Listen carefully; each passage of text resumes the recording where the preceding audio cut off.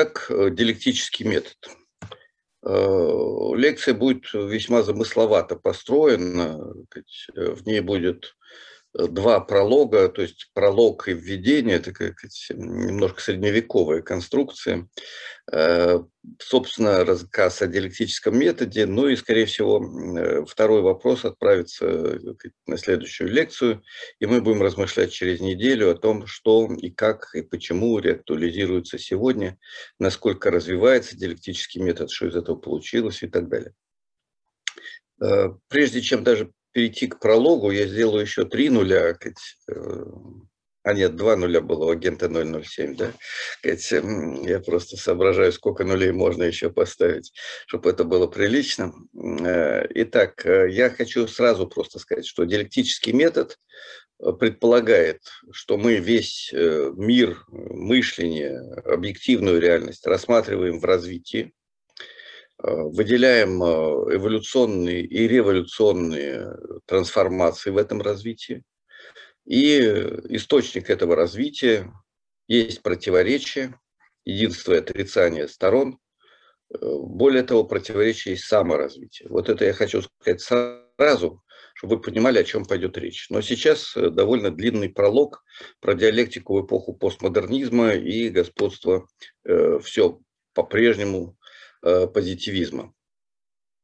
А, прежде всего, я хотел бы подчеркнуть, что, как ни странно, человек, который работает позитивным методом, с фактами э, и проверкой этих фактов, как ни странно, мыслит абстрактно. Вот этот тест я постараюсь вам э, пояснить только в конце лекции, но сейчас просто примите это как некую провокацию. Ну а то, что диалектика, которая все рассматривает в развитии через революционные скачки, э, тем самым оказывается орудием критики, позитивной, конструктивной критики, это очевидно. Если вы все критикуете, подвергаете критике, одновременно развивая и сохраняя, наследуя, то вы перестаете быть конформистом. Тем, кто пассивно воспринимает существующее как аксиому, как единственно возможный способ существования, как то, что было, есть и всегда будет. Ну а если вы превращаетесь в нонконформиста и стремитесь познать этот мир, его законы, да еще и действовать в соответствии с этими законами, э, то вы оказываетесь в положении э, не просто нонконформиста, а активного творца истории, а в условиях мира отчуждения, в условиях господства рынка, бюрократии э, и всего того, что нас окружает, это вредно для здоровья.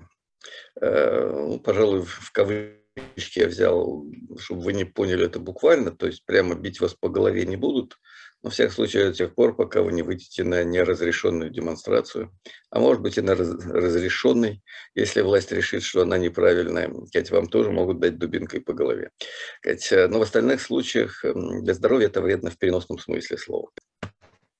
Итак, э, мы сегодня живем в пространстве позитивизма, э, безусловно, с приставками нео, пост и так далее – но, как ни странно, большая часть ученых, в том числе даже в области общественных наук, э, и не только социологов, политологов и экономистов, э, филологов, э, но и философов, стремится сегодня работать в позитивном пространстве.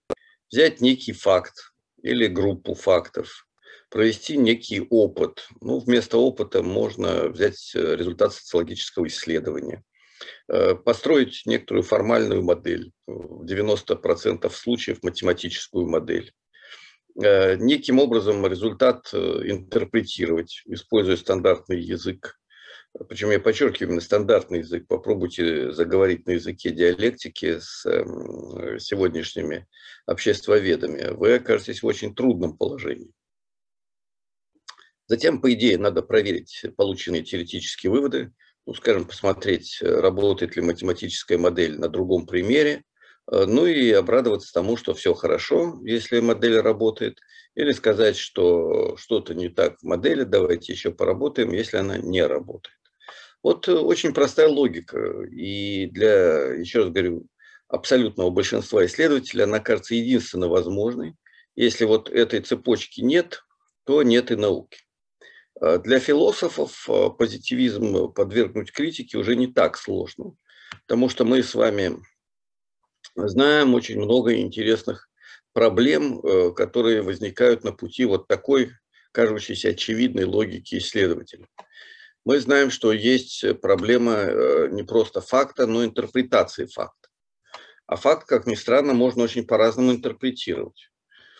Э, не говоря уже о том, что из некоторого моря явлений можно взять один факт, а можно другой. Вот глядя на российскую экономику, можно взять факт.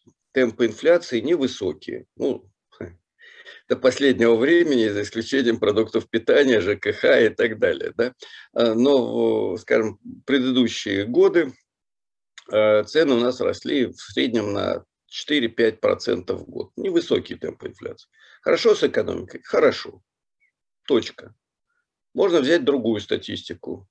Около 20 миллионов человек живет на доходы ниже 12,5 тысяч рублей в месяц. Хорошо? Очень плохо. Особенно в стране, где при этом число долларовых миллиардеров одно из самых высоких в мире. Вот, пожалуйста, и то, и другой факт. Но интерпретация, выводы, коннотация и даже политические действия из этого вытекают прямо противоположно. Поэтому есть очень сложный вот здесь вопрос. Далее. Факты отличны от практики, от практики отличны от фактов. Мы с вами занимались э, этим вопросом неделю назад, и я говорил, что марксизм – это не созерцательный, а деятельностный материализм. Это материализм, в котором всегда есть человек как действующий общественный субъект. Всегда есть общество, всегда есть человек, он всегда действует, и практика – это взаимодействие вот этих действующих людей, а не просто некоторые внешние факты. Вы скажете, а как же э, физические процессы, биологические процессы, химические процессы? Да, они, безусловно, всегда присутствуют, но человеку, исследователю, они даны в общественной практике. Попробуйте плохо вымыть пробирку, и химические законы у вас будут опровергнуты. Это маленький пример, который мне привел мой коллега который сейчас заканчивает диссертацию по химии, да, и до сих пор моет пробирки, поскольку он еще не защитил диссертацию. А, но это только смешной пример. А на самом деле э, есть и гораздо более жесткие примеры, когда, э, дойдя до сколько-нибудь сложных закономерностей, естествоиспытатель оказывается перед проблемой практики, мировоззрения, ну и многого другого, о чем я буду говорить чуть позже, и говорил, на самом деле, в предыдущей лекции довольно подробно. Далее, э, факт – это отдельное, абстрактное в марксистском смысле слова э, явление. Подчеркиваю, отдельное, некоторое изолированное явление. Да? Это явление, то есть это то, что мы можем наблюдать при помощи э, каких-то практических действий. И дальше встает интереснейший вопрос в какую систему, с какими другими фактами надо связать данный факт. Вот инфляцию с какими другими фактами экономической жизни надо связать. Вы извините, я буду приводить примеры из того, что мне ближе. Я по происхождению политэконом. Хотя, в общем, э, э, в советские времена политэкономов учили философии едва ли не больше, чем э, сегодня вас учат, э, во всяком случае, материализму, диалектике, э, проблемам социального развития и так далее. Вот, в какой системе, с какими другими фактами надо сопрягать, в каком историческом времени, в каком социальном пространстве. И дальше начинается масса интереснейших вопросов. Я уже не говорю о том, что возникает проблема, как только мы переходим к сложным общественным явлениям, Э, взаимодействия различных э, экономических, социальных и политических акторов. В одном случае в 20 веке происходит социалистическая революция и начинает развиваться Советский Союз. В другом случае в результате э, попытки движения в направлении социализма, победа на парламентских выборах, мирная победа в Испании 1936 года – все это заканчивается тем, что побеждают фашисты, совершившие государственный переворот антиконституционный. В третьем случае э, Соединенные Штаты Америки, Великая депрессия, проходят реформы, которые сегодня считают чуть ли не коммунистическими. Если я сегодня выступаю на телевидении говорю о том, что налог на миллионеров, на доходы миллионеров, личные доходы миллионеров и наследство должен быть 90%, мне говорят, вы что, мир перевернется, это будет взрыв, человечество такого не переживет. Вы большевик. Я говорю, ну тогда э, все реформы Рузвельта – это просто революция, очиненная злокозненным большевиком на посту американского президента. Да? Э, вот вам, пожалуйста, некоторые маленькие примеры. Но я обещал не увлекаться, у нас впереди много важного. Э, где какая практика характеризует действительно то, что является закономерностью для 20 века, есть ли вообще такая закономерность. Мы потихонечку подходим к проблеме э, постмодернизма, который говорит, да нет вообще никаких закономерностей. Ну, это чуть позже. Дальше оказывается, что отдельные факты его интерпретации – это, по сути дела, абстракция это частичное одностороннее знание некоторой части реального мира. Я потом введу это по определению строго. Частичное представление некоторой части мира. Вот мы проводим эксперимент, совершенно строгий. Садимся, складываем две скорости, там 10 км в час и 5 км в час. Сколько получается? 15 км в час. Правильно? Правильно прибавляем к 300 тысячам километров в секунду, если я не ошибаюсь, еще один километр в секунду, сколько получаем? 300 тысяч километров в секунду. Почему? Ну, вы ответ знаете, а вплоть до 20 э, века человечество ответ на этот вопрос не знало, да и вообще не знал, что есть такой факт и что есть такая проблема. Поэтому закон сложения скоростей был абстракцией. Хотя люди считали, что это абсолютно универсальный закон жизни человечества. Да? А, ну и самое интересное, самое сложное. То, что мы в общественном пространстве, давайте оставим в стороне физику и химию, а, на время, во всяком случае, в общественном пространстве мы живем в мире превратных форм. Мы живем в мире социального отчуждения, которое генерирует превратные формы я буду иногда все-таки использовать философские категории, а не только рассказывать вам про смешные примеры. Хотя сейчас позволю себе смешной пример, который не раз и не два будет всплывать э, во время нашего курса. А, ну, наверное, вы все ходили в театр. Я надеюсь, что вы хотя бы раз в жизни ходили в театр, скажем так. И тот, кто ходил в театр, знает, что там во время спектакля живой настоящий человек – по-настоящему влюбляется, страдает, умирает, ревнует, испытывает э, наслаждение и горе. Раскрывается огромное пространство человеческих отношений. Скажите, пожалуйста, этот актер действительно влюбляется, действительно умирает? Нет. Это форма. Но если вы пришли в театр, вы испытываете ощущение катарсиса, конечно, если это театр, да, а не балаган. И вы верите, что Марии Стюарт отрубили голову, и вы выходите больной, потому что вы были свидетелем казни прекрасной женщины, которая по-настоящему любила. Ну, я Шиллере в данном случае, да. Я о своем собственном впечатлении о спектакле МХАТе. До сих пор помню, что Мария Стюарт играла Каркошка. А, это форма. Но это форма адекватное содержание. А может быть форма, которая создает видимость содержания э, иного, чем действительно. Когда вы при помощи чего-либо создаете видимость того, чего нет. Говорят, хороший портной может из э, уродливого пузатого мужика Э, сделать, ну, если не Лен Делона, то, во всяком случае... А, ну, вы, наверное, не знаете, или знаете, кто такой Лен Делон? Это был такой красавец моих времен. Вот. Э, сделать, в общем, совершеннейшего красавца. Но это еще тоже полбеды, а настоящая превратная форма – это когда вы э, оказываетесь, скажем, э, на рыночном балагане, в, где? в балагане, на балагане, не знаю. В общем, рынок, балаган, танцует медведь совершенно замечательно танцует, э, но потом оказывается, что это мужик, который одел на себя медвежью шкуру. Э, есть э, медведь? Есть. Это правда? Нет, это ложь.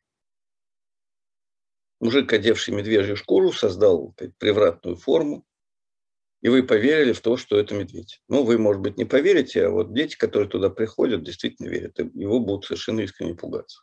И не только дети. Я был свидетелем в своем юном-юном возрасте, в глухой деревне, как э, не только дети, но и бабушки э, кидались в ужасе из зала, когда на сцену вышел рычащий медведь и бросился э, поедать маленьких девочек. Это было, ну, я не помню, сейчас мне кажется, что это было смешно, а тогда, видимо, это было не очень смешно. Вот, к сожалению, мы сейчас живем в мире, где все в таких превратных формах. Вы видите женщину на подкладке платья, которой э, написано «Шанель», ну, не знаю, каким образом вы это увидели, но будем считать, что увидели, да? И вы знаете, что это шикарная женщина. Вы видите мужчину, у которого, сказать, э, что? Есть э, Майбах или Феррари, и вы знаете, что это шикарный мужчина. Это превратная форма, такая же, как медвежья шкура на мужике в балагане. Но это превратная форма, созданная общественными отношениями рынка и капитала, и она диктует человеку жизнь. Содержанием, действительным содержанием этого является товарный и денежный фетишизм.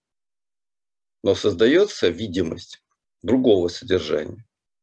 Вот э, поэтому ученому, который исследует общественные процессы, очень сложно работать с фактами. Он приходит на балаган и честно описывает то, что там происходит. Медведь замечательно танцует, да еще и к тому же разговаривает. Факт – факт. На следующий день приходит на балаган. Воспроизводится факт, воспроизводится. Опять мужик, то есть этот, извините, медведь, танцует и разговаривает. Ну, как радостно подтвердив свой факт, отправляется писать диссертацию про то, что медведи разговаривают и танцуют. И это правда. Очень хорошая диссертация получается. И защищается на ура, потому что все приходят на балаган, смотрят, танцуют медведь, разговаривают, разговаривают. Отлично, никаких проблем. Вот точно так же в примере с социальными отношениями. Кого уважают? Того, кто ездит на Феррари. Воспроизводится, воспроизводится. Следовательно, сущность человека – это те вещи, которыми он обладает. А еще точнее стоимость этих вещей, их капитализация, если вы используете не просто автомобиль, а какой-либо актив для капиталистического накопления. Вот такие чудеса. Это все пока, извините, предисловие. Далее, позитивизм, как правило, живет по ту сторону каузальных связей и моделируется в подавляющем большинстве случаев функции взаимодействия. Вот сейчас даже Нобелевскую премию дали про, за эти исследования каузальных связей. Я немножко покопался, разбираясь, что это такое. Выяснилось, что, похоже, там содержится тривиальная ошибка.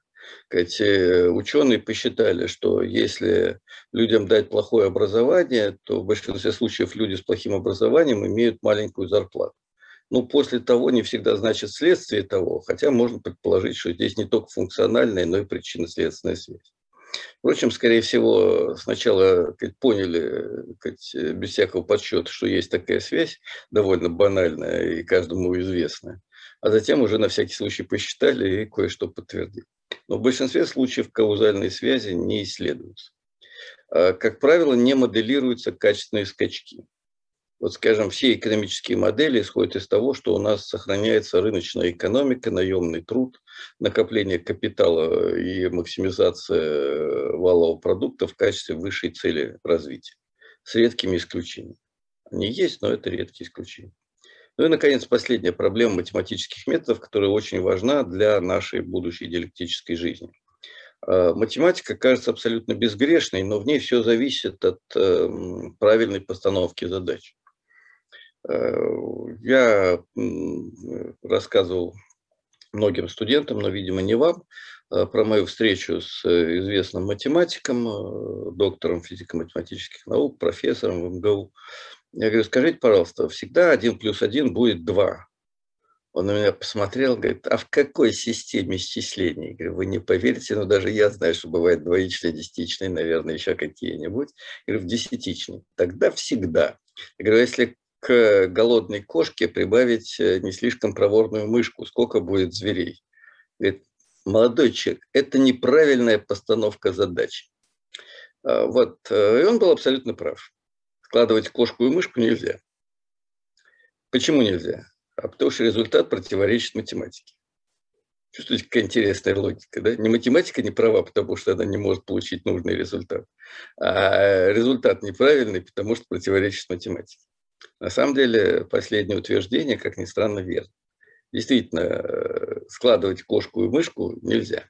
Надо разбираться в том, как они взаимодействуют, и считать дальше не знаю что, если вообще можно что-то посчитать э, в процессе вот этого грустного соединения двух животных. Но можно придумать другую историю, я вот ее тоже люблю рассказывать, про кошку и кота э, в определенном состоянии, в результате чего получится уже не два животных, а, скажем, восемь, да, ну, правда, через три месяца или через четыре, забыл уже. Но я уже не говорю о том, что модель очень часто сказать, строится под требования заказчика. Опять-таки, не забуду совещание на высшем уровне в Московском государственном университете с несколькими академиками накануне мирового экономического кризиса 2008-2010 годов. Вот э, эти академики обсуждали, какой будет темп экономического роста, математики академики, эконом-математики, э, у России в ближайшие десятилетия сходились на том, что 7% может быть и не будет, но 5% получим обязательно в реальности получили кризис. Один из академиков замечательно проговорился. Когда мы строили модель э, экономического развития, исходя из 7% роста, а, нет, не так, вру, прогноз развития, исходя из 7% роста. Э, я потом не выдержал в кулуарах, спросил, а почему из 7%? Э, Министерство экономического развития заказало 7%. Э, это была, э, к сожалению, не шутка. Понимаете, вот э, хорошие специалисты часто вам расскажут такие секреты. Но это уже вот та самая практика, которая включает взаимодействие общественных сил и фурии частных интересов. Когда-то, не помню, кто-то из классиков сказал, что если бы фурии частного, если бы частный интерес сказать, э, был завязан на законы физики, их бы регулярно пересматривали в соответствии с изменением сказать, господствующего класса. Впрочем, это происходило. Сказать, э, когда господствующим классом э, была аристократия, ну, сословием, и духовенство, земля была плоской естественно, никаким образом не вращалась. Когда пришла буржуазия, Земля превратилась в шар и стала вращаться. Э, ну, сейчас выяснилось, что она на самом деле даже и не шар, а что-то гораздо более сложное, но этим мы заниматься не будем. Э, так чем же отличается диалектика от позитивизма? Ну, прежде всего тем, что она работает с общественной практикой, а не определенными фактами. То есть это не эмпиризм. Далее, она работает с противоречиями, а не с формальной математической логикой, хотя э, есть интереснейший раздел науки логики Гегеля первого тома, который называется «Количество». И там показана диалектика числа и других атрибутов математики. Очень тонкий сказать, раздел, который я искренне советую. А нет, ну советовать я вам читать науку логики не буду. Потом когда-нибудь мы вернемся к этому вопросу.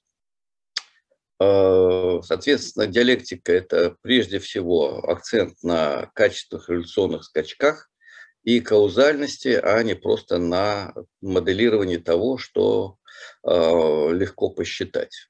Кстати, отсюда, вот из этой страсти к квантификации, есть еще одно очень интересное следствие. А, надо исследовать то, что можно посчитать и где есть данные. Если нет данных, то исследовать это нельзя, поэтому не нужно. В общественных науках это просто бич, потому что сложные каузальные связи, а, содержание, в отличие от форм, вот того самого мужика, который спрятан в медвежьей шкуре, Э, все это, как правило, посчитать нельзя. Вот нельзя и все. И ученые из этого делают вывод, что, следовательно, этого нет. Если нельзя посчитать, то это не существует. В соответствии со старым анекдотом. Э, когда человек э, потерял что-то в темном переулке, а ищет на улице, где яркие фонари. Почему где фонари? Потому что там светло. Да? Вот искать надо там, где потерял, а не там, где светло. Даже если нет данных. Ну и, наконец, последняя диалектика оказывается процессом творения истории, в отличие от прагматизма, который работает на заказчика. Любой математик знает, что строить модель, исходя из заказа хозяина, который платит деньги, это нарушение законов науки. Это генерирование лжи. Но поверьте, он через какое-то время, получив хороший гонорар и воспроизводясь в состоянии этих гонораров на протяжении лет 50, ну, скажем, 70-летний, да, уже профессор или академик, начинает верить тому, что тот, кто платит, тот и истину сказать, обеспечивает. Тем более, что это подтверждает опять-таки практика. Разработчики программы 2020, вот накануне мирового экономического кризиса в России разработали программу 2020 замечательного развития, сказать, процветания России на следующие 10 с хвостиком лет. Они получили почетные награды, большие деньги, посты, должности и так далее. Через э, несколько месяцев после окончания всего этого процесса разразился мировой экономический кризис. И к тому, кстати, писали вот, э, альтернативные авторы, в том числе и мы с Андреем Ивановичем Колгановым, и наши коллеги по марксистскому блоку. А, и все это полетело в тартарары. А, да и потом в России сказать, э, мы 10 лет последних плетемся темпами минус 1%, плюс 1%. Вы думаете, кто-нибудь пострадал из разработчиков программы 2020? Как бы не так. Они заняли все более и более высокие посты. Сегодня некоторые из них руководят правительством. Ну, на разных высоких должностях. Практика доказала, что они правильно сделали, построив правильную программу, исходя из э, заказа власть придержащих. Вот все. Вот так устроена реальная общественная жизнь. А, это кажется нонсенсом для студентов, но тем не менее это практика, в отличие от факта. Ну и в некотором смысле даже факт. А, далее мы сейчас перейдем немножко к постмодернизму и поймем, что диалектика пытается найти пути развития, в отличие от деконструкции позитивизма, то есть э, постмодернизма, извините. Ну и самое сложное и самое трудное э, – это поиск закономерности развития через противоречия с выделением критериев прогресса, претензии на то, что мы можем содействовать этому прогрессу. Это диалектика, это марксистская диалектика. А сегодняшняя наука общественная прямо или косвенно проповедует отказ от больших нарративов. Ну, впрочем, так было до недавнего прошлого. Сейчас появляется большой нарратив консерватизма, фундаментализма, православного, мусульманского, какого хотите, вплоть до фашизма. Но это пока только зародыши, хотя ужасные и опасные. Соответственно, марксистская диалектика претендует на поиск истины, а не бытие в пространстве симулякров. Вот теперь давайте займемся чем? Займемся, собственно, диалектикой. Да? Но пока еще тоже на уровне введения. А, вот э, в 1801 году Георг Вильгельм Фридрих Гегель защитил диссертацию и первый тезис диссертации звучал «Противоречие есть критерий истины, отсутствие противоречия – критерий заблуждения». Это был прямой вызов, э, господствовавший на протяжении тысячелетий от Аристотеля э, формальной логики.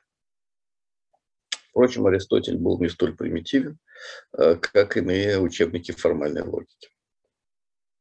И далее очень интересный тезис э, Гегеля, преобразованный в тезис э, Фридриха Энгельса. Маркс и Энгельс выросли из гегельянства. Презрение к диалектике не остается безнаказанным. Оно наказывается тем, что самые трезвые эмпирики становятся жертвами самых диких суеверий.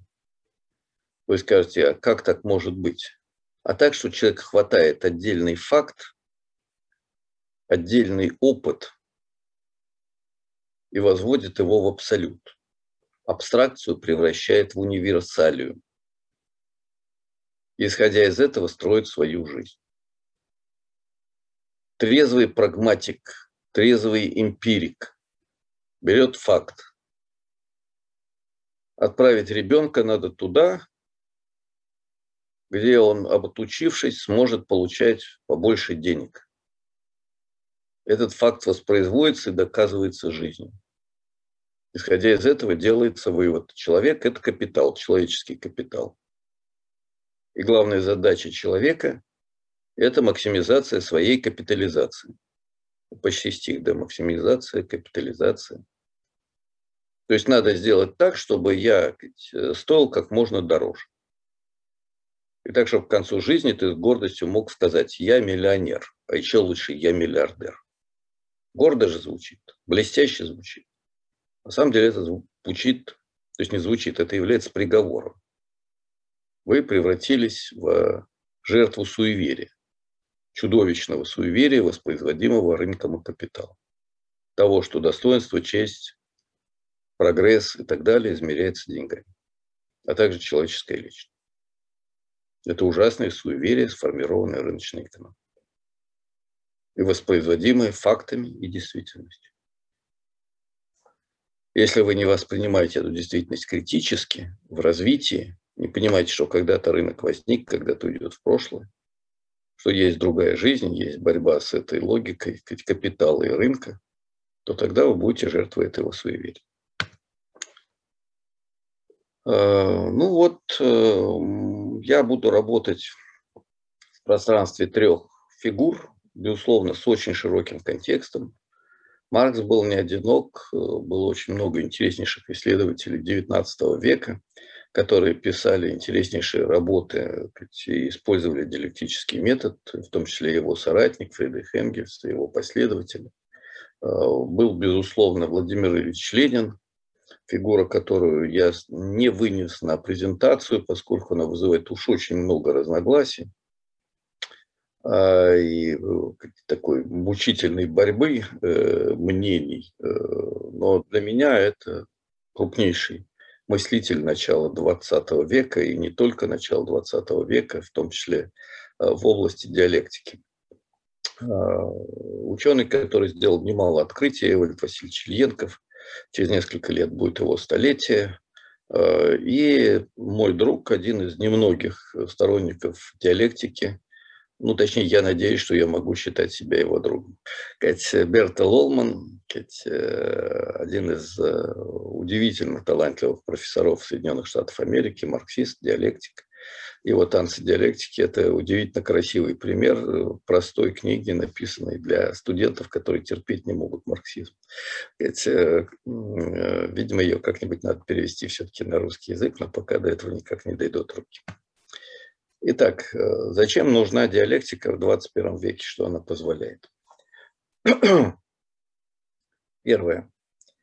Э, понять э, происходящие общественные процессы целостно в их противоречиях и к тому же выделить сущности закономерности этих явлений. Отличить от мифов и мороков превратных форм. Разобраться, где это мужик, который одел медвежью шкуру понять, почему сказать, э, миллионер – это на самом деле эксплуататор, а не самый благородный человек. Разобраться с тем, когда и почему люди стали считать, что время – деньги, и что высшая ценность – это деньги. А когда и почему, и где, и в каком пространстве они действуют по-другому. Понять, в чем противоположность тебя и твоего хозяина. Сейчас, когда вы сказать, э, учитесь, для вас э, бизнесмен – это талантливый предприниматель, хомокреатор, с которым вы партнеры в будущем процессе создания богатства фирмы. Но поверьте, за очень небольшим исключением сказать, партнеров, одного физический капитал, другого человеческий капитал, в 90% случаев вы будете наемным работником, вы будете тем, кто всегда дурак, потому что есть начальник, который всегда прав. В соответствии со старой поговоркой. Ты начальник, я дурак, я начальник, ты дурак. Э, вы с этим столкнетесь в любой капиталистической фирме, за очень, я еще раз подчеркиваю, небольшим исключением продвинутых креативных корпораций, которые в мире существуют сегодня под влиянием очень многих процессов, убивающих, кстати, капитализм, но далеко не господство вы столкнетесь с очень многими противоречиями, суровыми и жестокими. А, при этом вы сможете понять, точнее, поняв эти закономерности, эту сущность, в отличие от превращенных форм, вы сможете не поддаваться манипуляциям, политическим, идеологическим, манипуляциям, которые сказать, с вами осуществляет корпорации при помощи рекламы, пиара, компьютерных игр, телевидения, ТикТока, всего, что есть сегодня в их распоряжении. Вы начнете понимать, почему это манипуляция, что на самом деле за этим скрыто, какие противоречия, какие интересы и почему реализует та или другая политическая сила, что за этим прячется. Вы начнете задать вопрос, кому принадлежит экономико-политическая власть в России, почему она отчуждена от граждан. А если отчуждена, то есть противоречие между теми, у кого в руках экономико-политическая власть, и теми, кто граждане. А за этим скрывается противоречие тех, кто работает э, на заводе, в школе, э, в вычислительном центре и получает в лучшем случае 50-100 тысяч рублей в месяц, а в большинстве 35 тысяч рублей. Это средняя медианная зарплата России. Да? И теми, кто получает десятки и сотни миллионов рублей в месяц, а в год имеет доход в миллиард долларов уже, даже не рублей. А, вот это все становится вам понятно. Это мучительное знание, которое превратит вас в нонконформистов и будет вредно для здоровья, как я сказал во введении. Да? Но, тем не менее, это э, способность стать человеком, а не марионеткой. Э, далее вы сможете на этом основании понять, где прогресс, а где регресс. Вы не будете бояться говорить, э, я знаю истину и знаю, что она относительна. И я подвергаю ее критике для того, чтобы идти дальше, искать более сложные решения, более сложных проблем. Вы будете понимать, какие общественные силы стоят за прогрессом, какие стоят за регрессом, и как эта ситуация меняется. Э, ну и так далее, вплоть до самых сложных закономерностей общества, которые всегда останутся не до конца познанными, и тем интереснее вам будет жить. Э, соответственно, сегодня э, перед нами стоит проблема, и мы постарались это сделать в меру сил в русскоязычном пространстве, к сожалению, у нас не так много диалектиков, как, впрочем, и в англоязычном. А вот тут на слайде э, с Андреем Ивановичем занялись скромной саморекламой, такая маленькая картиночка, это наш двухтомник «Глобальный капитал», вышедший уже пятью изданиями. Э, первый том посвящен в значительной степени диалектическому методу. И там есть много такого, что нет в классическом марксизме, ну или не в полной мере есть в классическом марксизме. Это теория диалектики заката и генезиса, э, трансформации социально-экономических систем. Не только прогресса, но и регресса, инволюции, попятного движения. И многого другого, также вот неравномерности, нелинейности, трансформации во времени и в пространстве. Я позволю себе вывести на презентацию, вот вынести на презентацию знаменитую цитату из предисловия к «Капиталу» Маркса, который прямо написал про свой диалектический метод. Э, очень часто в нем подчеркивают то, что этот метод материалистичен, это действительно так. Кстати, я уже говорил неделю назад о том, что знаменитая фраза Маркса о том, что идеальное есть материальное пересаженное в человеческую голову, преобразованное в ней, вот эта образная фраза Маркса перекочевала во все советские, не только советские учебники, хотя превратилась в догму. Э, как ни странно, но Маркса мы тоже критикуем. Диалектика все подвергает критике. И работы Котельенкова и его последователей, да, части его учителей э, Розенталя, это работы, в которых Маркс сильно развивается и подвергается критике в советские времена написать, что я критикую Маркса, и Маркс был не точен в своем выражении, что это образное выражение, э, было нельзя, но если вы внимательно почитаете то, что там написано, то это будет именно так. Хотя, впрочем, у Маркса есть немало других, более тонких и правильных, на мой взгляд, фраз о том, что такое материальное и идеальное, не говоря уже о самом труде капитале. Мне важно, э, я выделил вот это мое выделение, завершающее этот абзац предложения э, в своем рациональном виде, диалектика внушает буржуазии ее докринерам, идеологам лишь злобу и ужас, так как позитивное понимание существующего она включает в то же время понимание его отрицания и его необходимой гибели. Вот э, это то, что действительно отталкивает от диалектики. Как только вы всерьез стали исследовать что-то диалектическим методом, вы оказались оппонентом не противником, но оппонентом всех позитивистов, вы оказались противником постмодернистов, и вы оказались человеком, который видит не только начало, но и конец той системы, которую считают вечной ее адепты. Естественный, навсегда данный, как эгоизм человека, который стремится к максимизации денег ну, про человека, который стремится не только к этому, и стремился не только к этому, и будет стремиться не только к этому, мы потом еще поговорим. Вот это очень важно. Мне часто задают в этом контексте вопрос, а как же с коммунизмом? Он что, тоже будет подвержен гибели? Ну, конечно, да. Опять-таки, в советские времена это не акцентировалось. Э, что будет дальше, не знаю. Нам бы до коммунизма, э, если не дожить, то хотя бы начать его созидать по-настоящему. Поэтому, да, конечно, все существующее достойно гибели. Э, давайте теперь перейдем, вот, собственно, к диалектическому методу. Наш курс не случайно называется «Введение в диалектику» я не смогу вам дать э, знания о введении в марксистскую философию, извините. И не смогу вам дать э, знания о том, что такое диалектика. Если хотите, у нас был тренинг по диалектическому методу такой, э, курс из лекций и семинаров, где мы работали с этим подробно. Это был, по-моему, даже межфакультетский курс на философском факультете МГУ. А, мы его даже записывали на видео, но куда-то это видео задевалось. А, есть э, очень серьезные работы, которые можно и должно читать.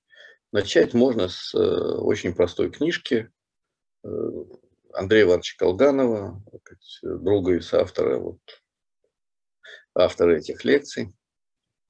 Книжка называется «Что такое социализм?». Не пугайтесь. Там не только про социализм, там про марксизм прежде всего.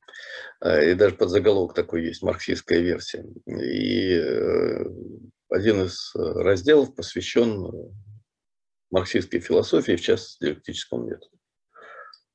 Э, вот можно это почитать. Можно почитать соответствующий раздел из книги Бузгалина «Ренессанс социализма». Там тоже довольно большой кусок под названием «Диалектика вредна конформистам». Э, посвящен диалектическому методу. Ну а дальше э, надо читать серьезную литературу.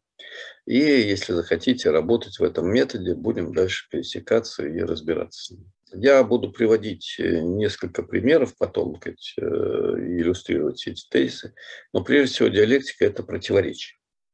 Противоречие есть единство и взаимоотрицание двух сторон – и тем самым это снятие закона исключенного третьего. Ну, есть замечательная пословица. Либо да, либо нет, что сверх того, то от лукавого. Вот э, диалектика говорит, что именно там, где есть и да, и нет в одно и то же время, в одном и том же отношении, и то, и другое истина, это и есть э, диалектическое противоречие, это и есть правда, о том, что и как присутствует в этой жизни. При этом каждая из сторон противоречия, поскольку она едина со своей второй половинкой, включает в себя и то, и другое. То есть каждая из сторон есть все противоречие и одновременно его сторона. Вот дальше начинается много всего тонко. Хотите совсем серьезно и совсем глубоко, читайте раздел противоречия в втором томе науки логики Гегеля, большой логики. Разберетесь, вы гении. Не разберетесь, э, значит, будем дальше потом с кем-то вместе работать. Можно читать советские учебники, э, можно читать очень хорошую книгу «Проблемы противоречия». По-моему, то ли 79-го, то ли 69-го года в Советском Союзе небольшая книжечка вышла. Там целый набор дебатов на эту тему, в том числе очень красивые тексты Ильенкова и Батичева. А, это противоречие всегда разрешается и рождается снова в новом качестве. То есть э, жизнь есть развитие, в котором противоречия сталкиваются, разрешаются, рождают новые. Собственно, противоречие живет только в процессе развития. Как только вы зафиксировали что-то, противоречие исчезло. В мертвом состоянии противоречия нет. Противоречие есть только в процессе движения, развития или, наоборот, деградации. Но никогда не в мертвом состоянии. Вот я всегда привожу пример, который, не знаю, вам, наверное, будет не видно. Сейчас я попробую его изобразить. Э, вот, да. Вот представьте себе, что кончик ручки – это бесконечно малая величина, да? Вот дальше я скажу. Давайте представим себе ситуацию, когда истины два высказывания. Этот бесконечно малый кончик ручки находится в бесконечно малой точке пространства, любой, опять-таки, сколь угодно малый промежуток времени, и не находится в этой точке. Еще раз, да? Истинным является то, что он находится в данной точке. Истиной является то, что он не находится в данной точке. Оба высказывания истины. Любой сколь угодно малый промежуток времени, любая сколь угодно малая точка, любой сколь угодно малой точки пространства. Так может быть и да, и нет в одно и то же время, и то, и другое правда. Но совершенно нормальное решение, нет, такого быть не может, потому что либо да, либо нет, что сверх того, тот лукав. Вам говорю, а что такое равномерное прямолинейное движение? Тело и находится, и не находится. Если оно находится, то оно стоит. Если оно не находится, то его нет. Движется оно только тогда, когда оно и находится, и не находится в одно и то же время. Это смешной пример. Дальше можно закапываться в дебри физики и пытаться понять, как уйти от этого и да, и нет в одно и то же время. Но тем самым вы, по сути дела, не уйдете. Вы просто разрешите это противоречие и найдете новое, более сложное. На самом деле в математике очень много э, диалектики. Что такое бесконечно малая величина? Это величина или это не величина? Это ноль или это величина? Если это ноль, то это не величина. Она все-таки хоть и бесконечно малая, но величина. Если она величина, то почему она бесконечно малая? Вообще бесконечность – это уже само по себе сказать, э, диалектическое понятие. Да? Это процесс, у которого нет конца. Мне, кстати, очень нравятся вот физические разговоры, но это я все время мечтаю устроить спокойный разговор с кем-нибудь из, из э, действительно серьезных физиков, э, поскольку я здесь профа, о рождении Вселенной. Как может родиться то, у чего нет ни конца, ни начала? Вот это мне всегда ужасно интересно. По определению, Вселенная – это то, что существует всегда. Это бесконечно. Она вообще бесконечна. Ну, то есть что-то обозревать можно в этой Вселенной, но она бесконечна. В ней могут быть какие-то циклы, какие-то галактики там, или, я не знаю, соединения галактик могут рождаться и умирать. Э, вот то, что мы наблюдаем, может рождаться и умирать. Э, то, что мы можем помыслить, как э, отчасти наблюдаемое, может рождаться и умирать, но физическая материя бесконечна. Она не рождается, не умирает, она есть всегда. Да? Э, вот. Это бесконечность. А как быть с тем, что все рождается и умирает, а так, что всегда есть качественные изменения? Вот человек не бесконечен. Человек, он когда-то появился, и, видимо, когда-то на смену Homo sapiens придет что-то другое. Надеюсь, что не скоро. А мне как-то нравится Homo sapiens все-таки, как, особенно некоторые их представители. Но я думаю, вы тоже можете похвастаться, что некоторые представители Homo sapiens вам нравятся больше, чем другие. Ну, это так, чтобы мы чуточку улыбнулись, да? Суббота все-таки. Ну вот, значит, э, я привел вам примеры, которые не так очевидны. В общественных науках э, и применительно к общественной материи тут все немножко лучше получается. Э, и мне тут будет легче работать, потому что я все-таки очень плохо разбираюсь в естественных науках, и мне искренне стыдно за это. Я не кокетничаю. А, но дальше оказывается, что эти противоречия э, строят, развиваются в целую систему категорий, вплоть до качественного скачка, когда развертывание противоречия системы приводит к тому, что она исчерпывает свой потенциал и уходит в прошлое. Рынок возникает, развивается и начинает э, исчезать. Вот когда-то он возник и завоевал все новые и новые пространства. Э, в России это происходило недавно, относительно исторически несколько сот лет назад. Все это началось бурно развиваться. До этого какие-то ростки рынка существовали, гибли, существовали, гибли. Но большая часть людей жила в пространстве натурального хозяйства. Э, что производили, то и съедали. И даже очень прогрессивный Некин, помните строчки, ерем барщины старинный, оброком легким заменил. То есть он не деньги с крестьян собирал, а оброк. Оброк – это что там? Яйца, зерно, молоко, мясо, что там, я не знаю, что-то еще, да, сено, солома. Но это я уже шучу. А, вряд ли э, Онегин собирал солому с крестьян. Итак, значит, э, вот появляется, этот рынок развивается, из рынка без денег натурального обмена, бартера появляются деньги, из денег появляется капитал, кто-то из 100 долларов делает 110, э, капитал развивается в промышленный, промышленный капитал развивается в финансовый, все это захватывает все новые и новые сферы, с одной стороны, а с другой стороны, по мере этого развития капитал и рынок начинают уходить в прошлое. Появляются пространства, где деньги не нужны.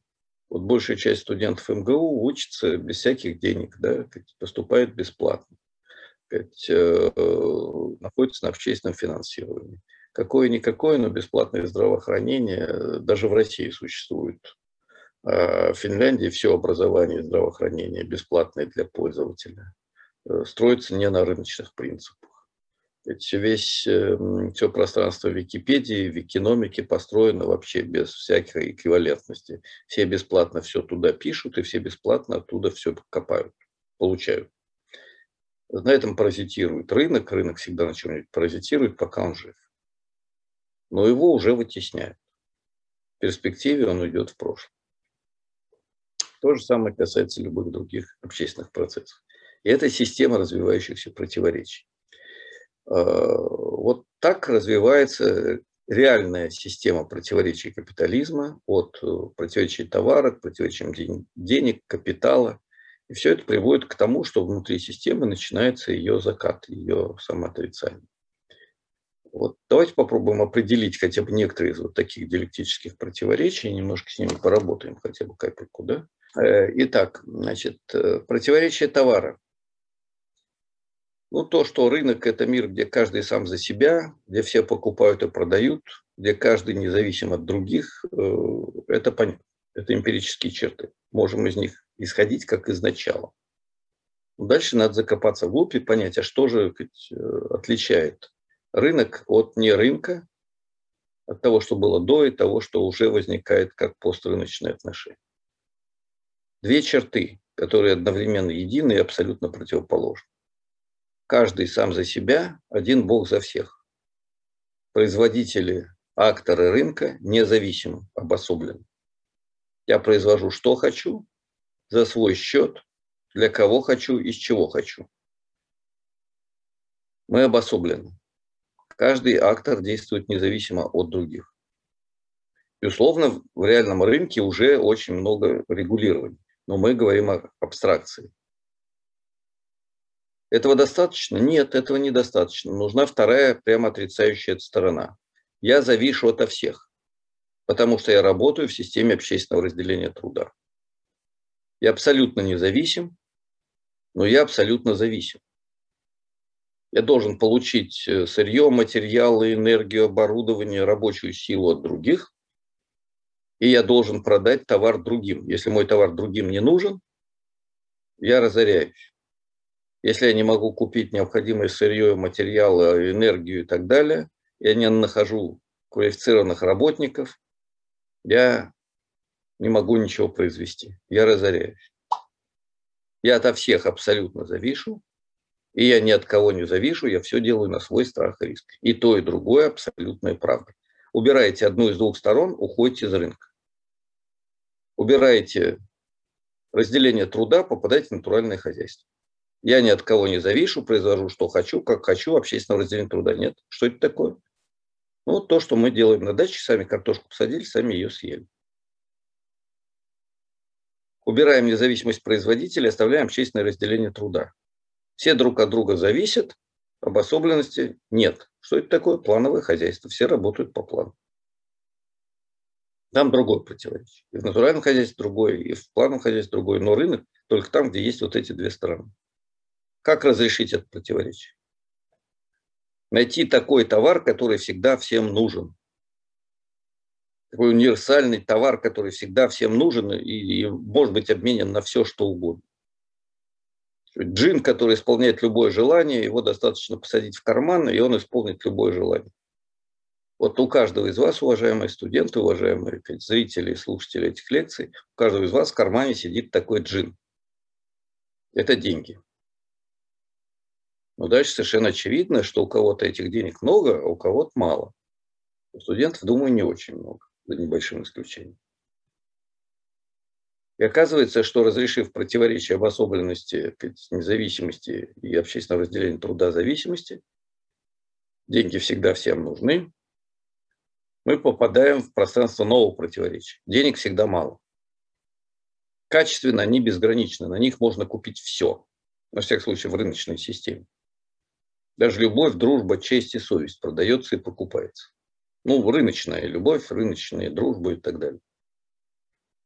А при этом их всегда мало. Качественно безгранично, количественно ограничено. И то, и другое истина. Денег всегда мало у всех. Если вы думаете, что 10 миллиардов долларов это много, то вы не правы. Это нищенская жизнь, потому что у кого-то есть 100 миллиардов. Это не шутка. Это трагедия. Вы не понимаете просто, насколько это трагично, если у тебя всего 10 миллиардов долларов, насколько ты унижен, оскорблен и вообще пребываешь в состоянии э, кого-то, кто не входит даже в первую десятку миллиардеров. Это, ну, застрелиться, может, не надо, но вообще это очень тяжело. Вот. Э, как разрешить это противоречие? Сделать так, чтобы денег все время было больше, больше, больше, еще больше. Вот вам, пожалуйста, капитал. Деньги, которые приносят дополнительные деньги самовозрастающая стоимость. И дальше вы, достигнув богатства, ну ладно, бог с 70 миллиардами, это что-то далекое от нас с вами, заполучив, э, я не знаю, миллион долларов, купив квартиру, дом, машину и вторую машину, еще что-нибудь, еще что-нибудь, слетав э, даже на Лазурный берег, а не просто в Турцию, вдруг понимаете, что у вас этих денег очень мало, и вам их надо больше. Дальше вы их начинаете инвестировать, и вся жизнь превращается в бесконечный придаток к инвестированию денег. Вы становитесь персонификацией капитала, деньги, которые приносят дополнительные деньги, но у него свое противоречие.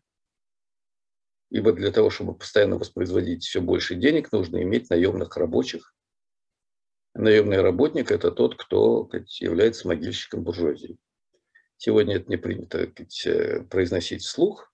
Считается, что это не так, но мы с вами поговорим как-нибудь о противоречиях капитала. И когда вы придете работать в какую-нибудь фирму, и вам предоставят гигантскую зарплату в 100 тысяч рублей, вы поймете, ну, я так идеальный вариант беру для московского студента, который сразу устроится на замечательную работу. Э, хотя, скорее всего, вы получите 50-60, и работать будете не 8 часов в день, а, скорее всего, 12, сколько скажет хозяин в надежде, что получите 100. Каждого второго при этом выгонят через год с работы, вы не пройдете испытательный срок или через полгода. Ну, в общем, дальше все будет весело. И вы поймете, что есть такие противоречия между пролетариатом и буржуазией, хотя вы будете пролетариями умственного труда с элитным образованием и прочим. Ну, за исключением, может быть, нескольких процентов, максимум 10 процентов нескольких человек из группы, да, у которых есть соответствующие папы, мамы или кто сумеет в соответствии со стандартами э, товарного фетишизма правильно выйти замуж или жениться, так, чтобы у жены или у мужа оказались хорошие родственники или хорошее приданное, ну или что-нибудь в таком духе. Да. Но вот за этим исключением вы окажетесь в положении наемного работника и познаете на себе эту самую противоположность. Ну ладно, я немножко увлекся. Соответственно, дальше в какой-то момент э, на смену капиталистической системе приходит новая система.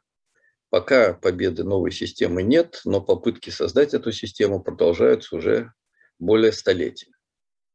Э, начиная, пожалуй, даже с Парижской коммуны 1871 года, который просуществовал всего 90 дней, э, очень противоречивая, закончившаяся поражением попытка создать новое общество в Советском Союзе и мировой социалистической системе более 70 лет. Сейчас снова и снова попытки идти по этому пути в Боливии, в Китае, еще где-то. Тоже противоречивые. Становление всегда мучительно болезненное и противоречивое. Но это особая тема. Э, итак, значит, э, противоречие. Вот товар, э, вещь, предназначенная для обмена в рыночной экономике, это, давайте вот посмотрим на самый низ этой презентации, на последней строчке. Это общественное разделение труда и независимость, изолированность, обособленность производителей. Я про это сказал. В результате э, человек, который включен в товарные отношения, всегда э, двойственен в своей деятельности. Он всегда частник, и он всегда работает на общество.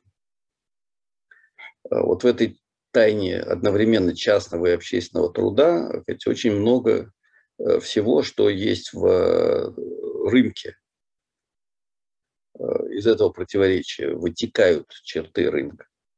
Из этого противоречия вытекает то, что вы работаете на общество, преследуя частный интерес. Это заметил еще до Маркса, хотя и не в виде противоречия, а в виде догадки. Адам Смит почти 300 лет назад, скоро будет 300-летие этого выдающегося мыслителя, он сказал, что булочник встает в 6 утра, ну, в Англии булочники вставали в 6 утра в 18 веке, для того, чтобы испечь э, не одну сотню булочек, не потому, что он хочет ими обожраться в 6 утра, а потому, что он э, э, будет их продавать для всех, кто придет в его булочную, за тепленьким, свеженьким, вкусненьким. Я прямо облизнулся, не успев позавтракать, это садизм рассказывать про вкусные булочки. Да еще к тому же теплые. Ну ладно. Значит, э, он тем самым реализует общественный интерес, потребность в булочках. Но если вы думаете, что его мечта накормить всех булочками, то вы ошибаетесь. Его мечта получить как можно больше денег. Э, ну или как минимум как еще больше товаров. Да? Э, то есть у него частный интерес. Максимизации частного дохода для частного воспроизводства обособленного производителя но при этом он работает в системе общественного разделения труда, и он реализует общественный интерес.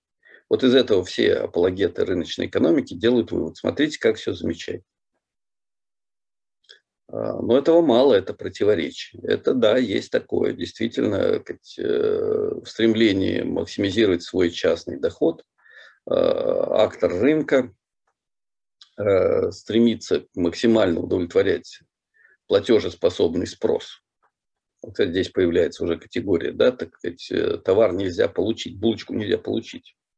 Если голодный ребенок, нищий с улицы, в 18 веке их в Англии было очень много, придет к булочную и скажет, дяденька, дай мне, мистер, э, я голоден, дайте мне булочку, мистер скажет, пошел вон, и еще отвесит под затыльник. Платежеспособного спроса нет. У кого-то из вас, слушателей этой лекции, может быть, есть э, желание купить себе Феррари или сказать, эм, сумочку Луи Виттон за 200 тысяч рублей. Сказать, э, но я не уверен, что у всех у вас есть такая возможность. Нет платежеспособного спроса. Вот вам противоречие. Да? То есть удовлетворяется не всякий интерес, а платежеспособный. По идее, это толкает каждого быть предприимчивым.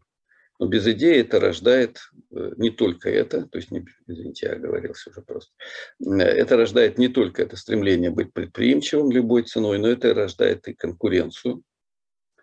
Человек человеку становится конкурентом. Вы вступаете в отношения на рынке, где каждый антагонист другого. Моя задача – разорить соседа-булочника. Если рядом есть булочник, то я буду тем счастливее, чем скорее он разорится. А он будет тем счастливее, чем скорее разорюсь я. Мы конкурируем за каждый пенс, шиллинг, и уж тем более фунт стерлингов того, кто придет в нашу булочную. Но в 18 веке на фунт можно было купить, наверное, полчеловечества, а не булочку. Это было 300 грамм серебра. Э, ну, не важно. Вот. Это раз. Два. В условиях рынка кто-то разоряется, а кто-то обогащается. Если нет э, этого разорения и обогащения, то нет частного характера труда. А рынок есть только там, где есть частный обособленный труд. Частный обособленный труд – это означает, что нет регулирования, нет солидарности, нет взаимопомощи, нет поддержки. Еще раз я говорю, в современном рынке это все уже есть. Но потому что этот рынок уже в эпохе заката, он уже умирает, ему на смену идет пострынок, идет социализм. Какими-то кусочками, элементами и так далее. Когда у вас в Европе пособие 1000 евро в месяц, даже если вы не работаете просто потому, что вы гражданин, это уже социализм. Маленький кусочек социализма внутри капитализма. А нормальный рынок – это когда у вас нет ничего, ну и умираете себе.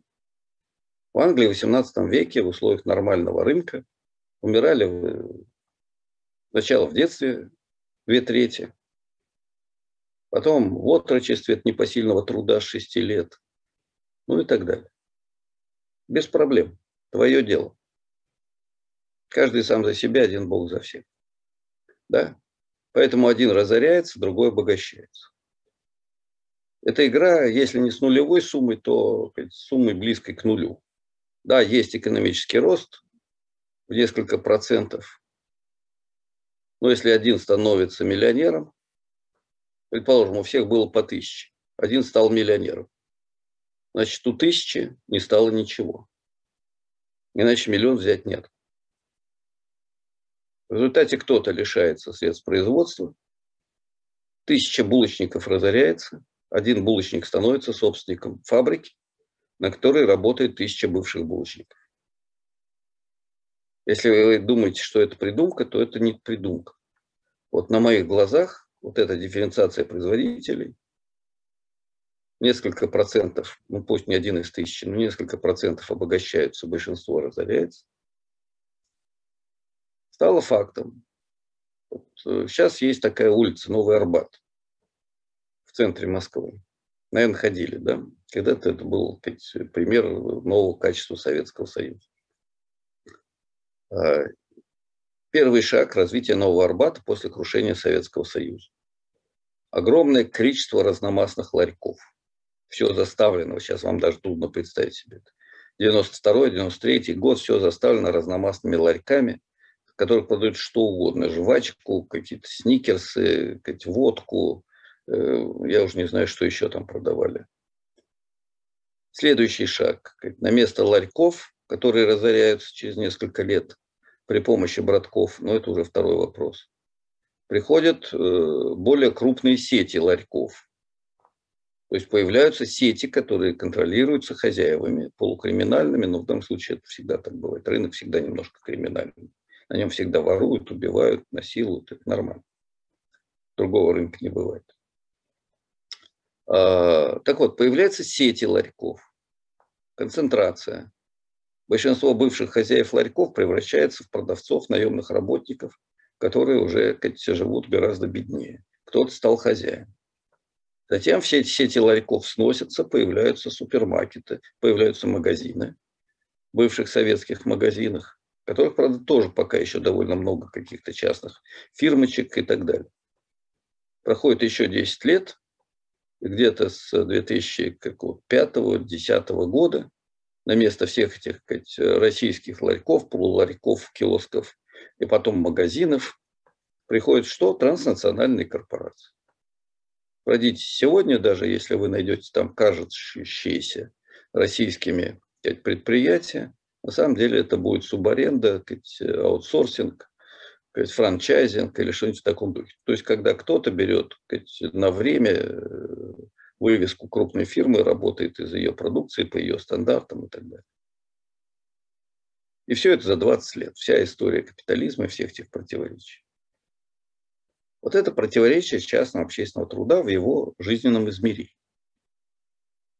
А на поверхности превратная форма. Помните, мы с этого начали. Превратная форма того, что все равны, все предприимчивы, все самостоятельны. Каждый может сделать все, что он считает нужным. Без проблем. Валяй. Только при этом 100 превратится в наемных рабочих, которые в России получают минимальную зарплату в 12 тысяч рублей, наиболее типичную зарплату в 30-40 рублей, модальная зарплата, ну или медианную зарплату в 35-38 тысяч рублей. а больше 100 тысяч получает лишь 10%. 10% населения развитой страны богатыми запасами нефти, газа, руд, э, цветных и черных металлов, леса, всего, чего только может, чего нельзя, мощным интеллектуальным научным наследием Советского Союза и прочее, прочее. А в Индии э, почти миллиард, из которого 200-300 миллионов живет просто в нищете, не имеет даже лачуги. Вот такая история. Индия тоже не самая бедная страна, а активно развивающаяся. Просто была несколько сот лет колония Великобритании. Вот такие дела. Э, это все реальная диалектика. Это диалектический метод, который метод э, вот через противоречие, через развитие, через качественные скачки революции, через понимание различия феодальной системы от капиталистической, натурального хозяйства от рыночного – идущего на смену капиталу и рынку, э, бесплатного распределения или плановой организации. Без всего этого не понимается вот вся эта штука, и у вас получается позитивный анализ вечно существующего рынка, в котором действует естественно сказать, присущий этому рынку человек с естественным от Бога данным эгоистическим интересом побольше покупать, иметь максимальный доход и поменьше работать, это кажется единственно возможным и естественным. Ну вот, пожалуй, я продолжу. Э, закончу ту фразу, которую ведь, э, я поставил в качестве одного из эпиграфов к сегодняшней лекции. Э, мы закончили тем, что диалектика внушает буржуазии, ее доктринерам и идеологам лишь злобу и ужас. Вот это очень важно. И заканчивает Маркс в этом э, предисловии эти строки, этот абзац, тем, следующий абзац тем, что по своему существу диалектика критична и революционна. Так я надеюсь, что вы почувствовали немного вкуса диалектики, э, но позавтракать вам не удалось. Сказать, что такое диалектика, вы не узнали. Но заодно это и некоторый анонс того, что через неделю я вам расскажу про абстрактное и конкретное, э, историческое, логическое, ну и чуть-чуть попробуем э, показать, как можно использовать диалектический метод.